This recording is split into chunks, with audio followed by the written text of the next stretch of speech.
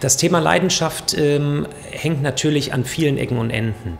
Und das mag euch jetzt wundern, wenn ich es so äh, einordne, aber ich glaube, die Leidenschaft muss nicht nur in der Kreation sein, sondern muss vor allen Dingen bei der Beratung stark sein.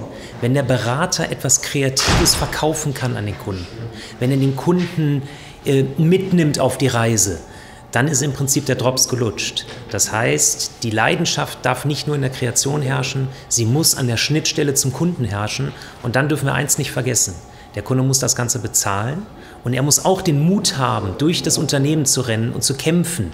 Und deswegen muss man ihn anzünden, damit er selber brennt und dann im Unternehmen die bessere Kreation durchsetzen kann. Das ist eine gute Frage, die man eigentlich durch das Medienverhalten beantworten muss. Wir haben heute den Trend zum Second Screen. Wir wissen, dass in der Mehrheit der Fälle heute die Menschen TV gucken und gleichzeitig ein Computer, ein Pad, ein Smartphone zur Hand haben. Insofern kann man es nicht mehr getrennt denken, sondern man muss sich überlegen, wenn ich im TV den Impuls setze, wie verlängere ich ihn, wie ergänze ich ihn online oder auch andersherum, wenn ich online einen Impuls setze, wie greift TV diesen eventuell auf? Also das geht vice versa. Heute muss man integriert konzipieren und unterwegs sein.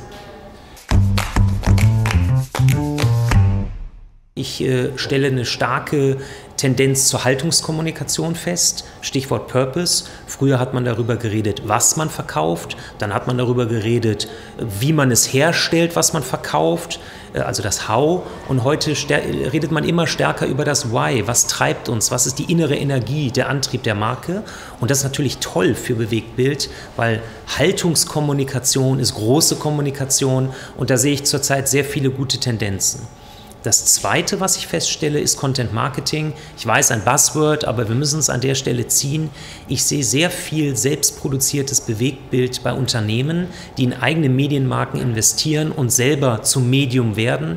Und das ist ein Trend, der unaufhaltsam ist. Also ich sehe fünf Dinge. Idee, Idee, Idee, Mut und Exzellenz. Lass uns das kurz einordnen. Idee, Idee, Idee. Ich glaube, auch in einer digitalen Welt oder gerade in einer digitalen Welt geht es ohne Idee nicht. Wer banale, unterbrechende Kommunikation macht, die nicht mitreißt, hat keine Chance. Wer aber auf starken Ideen aufbaut, der wird getragen von den Menschen da draußen. Also Idee ist für mich key. Dann Mut, wir haben das eben schon mal angesprochen.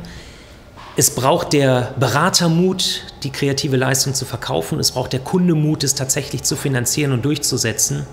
Insofern ist Mut exzeptionell wichtig neben der Idee. Und das Dritte ist natürlich die Exzellenz. Wenn es schlecht gemacht ist, geht die Idee unter, äh, ist auch der Mut umsonst gewesen. Am Ende muss auch das Produkt in einer Qualität stehen. Und wenn alles drei zusammenkommt, dann geht's ab dann wird es getragen von den Menschen, die sich als Fan im Prinzip diesem Stück Film widmen und es auch viral teilen.